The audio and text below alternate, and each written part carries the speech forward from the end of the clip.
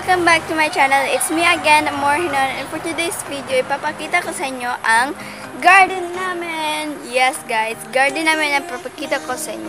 First ever video ko pa lang to. So, trial ko pa lang to kung uh, madaming bang, uh, madami bang manonood. So, let's go, guys. And magsimu- magsimula na lang tayo.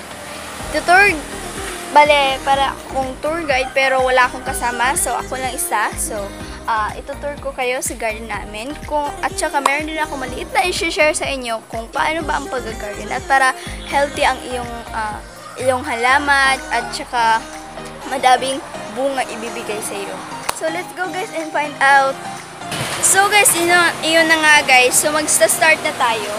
So, the time is all already 7.51 a.m. So, let's go. Lalaki tayo. Sa una natin na ipapakita ko sa inyo is ang kalabasa namin.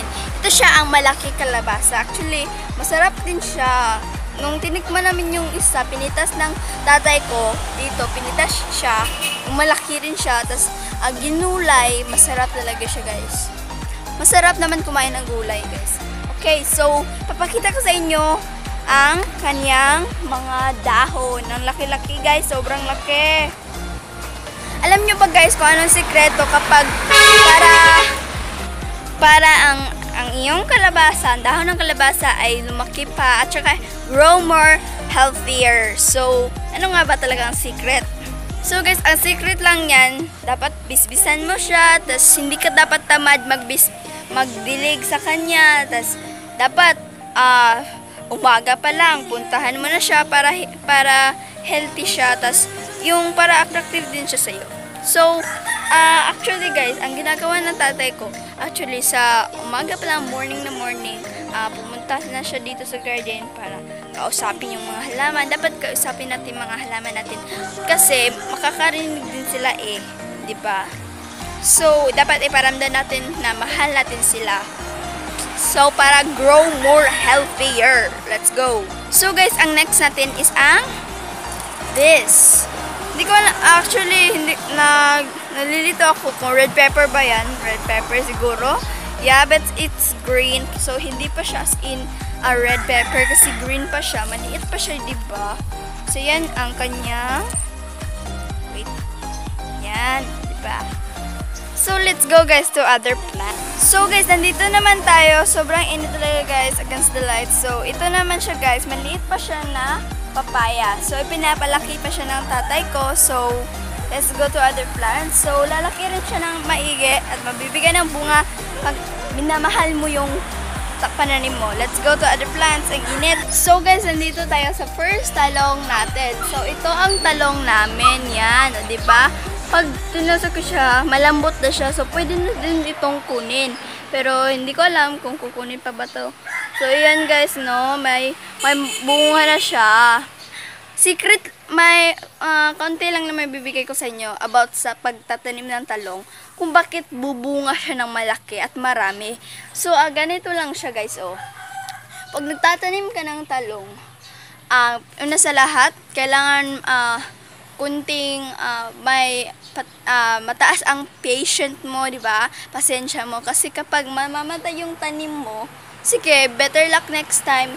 Yan din yung ginawa ng tatay ko. Kaya ngayon, yan. Bumubunga siya ng marami kasi um, mayroon siyang uh, from the bottom of my heart, uh, charot. Okay, so, um, ang ginawa ng tatay ko, actually guys, ang ginagawa ng tatay ko is uh, nilagyan niya ng tubig, tas ang perfectly talaga is yung uh, yung nilalagyan na niya ng abuno. Yan. Abuno talaga nilalagay niya talaga upang bumunga ng marami.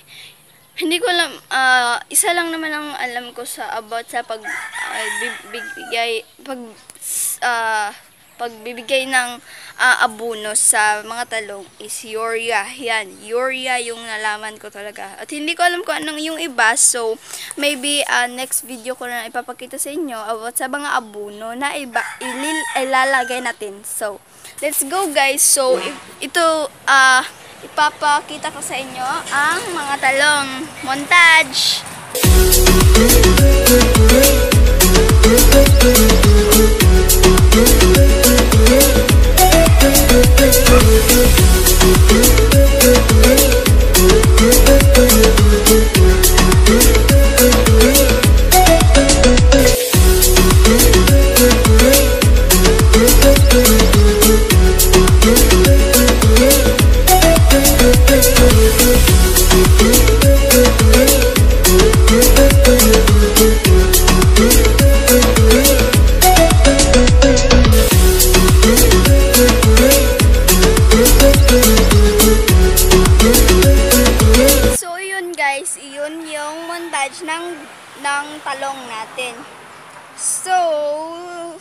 Punta naman tayo sa other. Okay guys, so about sa papaya, let's go to other papaya. So this is the first papaya. Yan, bago pa yan tanim. So itanim niya ng tatay ko, nalagaan niya, binibisbisan niya, tapos diniligan niya ng tubig, tapos ah, nilagyan ng abuno, di ba? So let's go to the other. Yan guys, that's the second plant. This is papaya. So, yun nga guys. So, may papaya na tayo, may kalabasa, at saka may talong, tas what's the other next? Okra! Let's go to okra! So, yun guys. Ito na nga yung okra. Wow. Actually, may, may tumutubo na siya ito. Yan, tumutubo na siya, diba? Yan yung tumutubo niyang okra. So, iyan yung okra namin, guys. Actually, ah, actually, ah, healthy na siya yung okra kasi masarap nga. Tapos, lambot. Grow more healthier okra. So, guys, next naman natin is ang kamu malunggay. Malunggay, let's go. Yan, yung malunggay namin, guys. Malunggay. Madami siya, diba? Yan, guys, marami yung malunggay namin. So, guys, I think kailangan natin magbuntage dito sa garden. Let's go.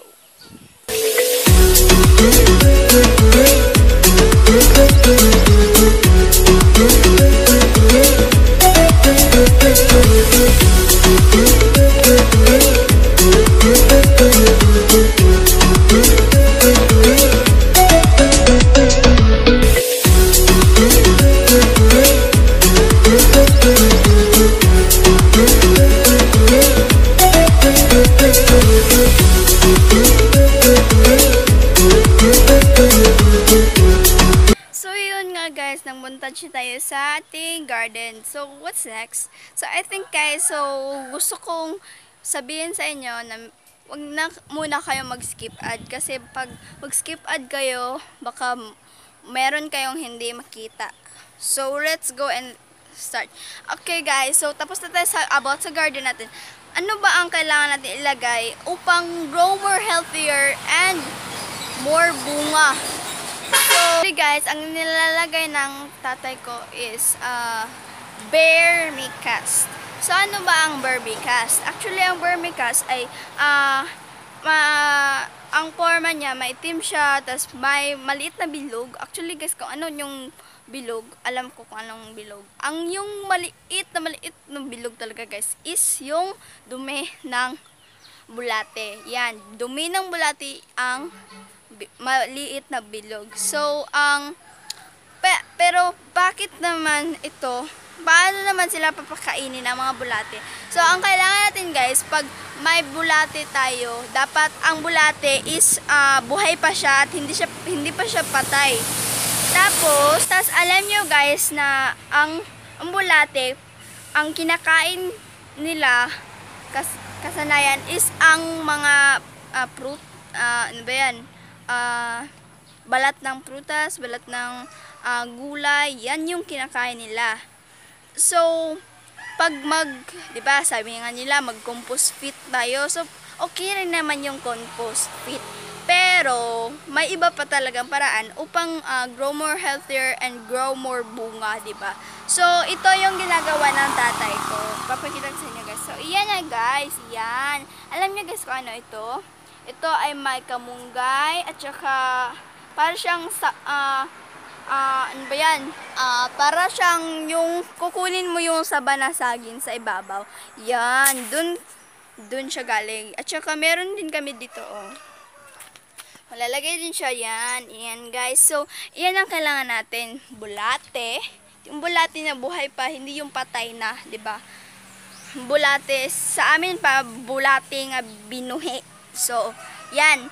Kailangan natin bulate kasi yung dumi niya, example, may bulate ka na, tas ah, pinakain mo siya dito. So, yung dumi niya, yun ang kinakailangan natin upang maging vermicast. So, ang vermicast, pag inahal, actually guys, ang ano ba yun? Apat, ah, lima. Teka lang. Actually guys, lima ang kailangan natin upang mapa- mapangalagaan ang ating pananim.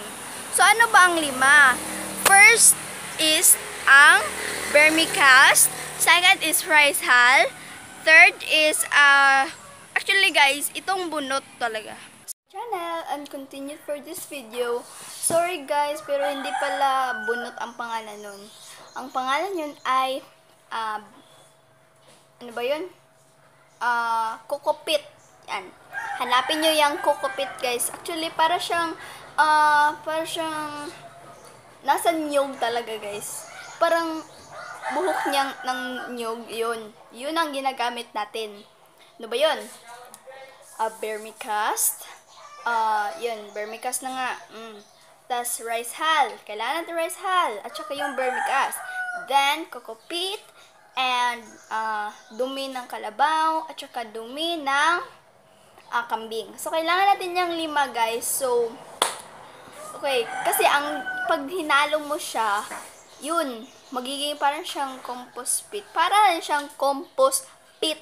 Pero, hindi siya yung parang may balat talaga ng mga mga o mga bu- bulok na mga yung parang ah, bulok na mga gulay, yun, mga prutas, pero parang lang siya. Pero lupa, lupa siya, magiging lupa siya. Tapos yung hinalo mo na yung lima, tsaka mo na ilalagay dun sa iyong halaman upang grow more healthier, grow more faster. Yan guys. Yan lang ang maliit kong sasabihin sa inyo. Tapos maybe next video ko na ipapakita sa inyo kung ah, ano ba ang mukha ng ano ba ang ayang mukha ng ah, vermicast at saka yung rice hull. So ang rice hull guys, ah, next video ko na lang papakita sa inyo at saka yung lahat. Kasi wala pa kaming ah, stock ngayon, wala pa kami kasi naubos na yun.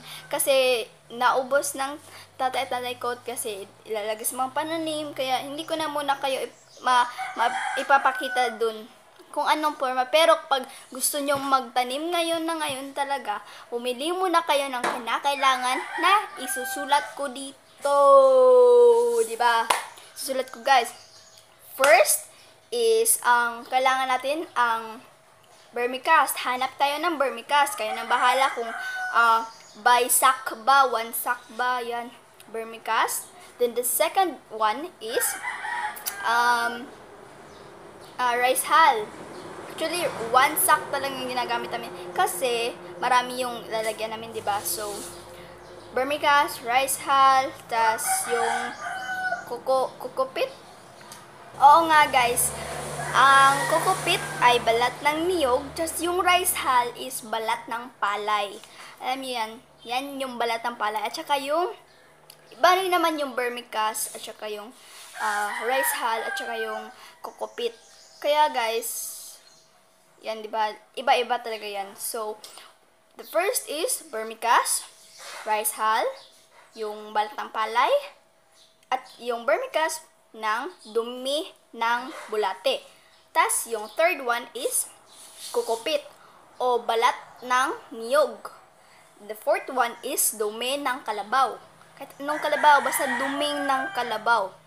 Tas, ah, ah, dumi ng kambing kasi yan talaga yung ginagamit ng tatay ko. So, lima. Simple lang yan, guys. Lima lang ang kailangan nyong bilhin upang magawa nyo na ang inyong gustong gawin. So guys, if you like this video, don't forget to subscribe down below and hit that bell notification para updated kayo sa more videos ko na, ip- na ipopost ko.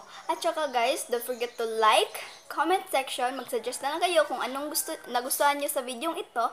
At saka mag-share nyo siya, tas ah, subscribe down below. And guys, don't forget to subs uh, to hit the post notification para para sh- for shout out.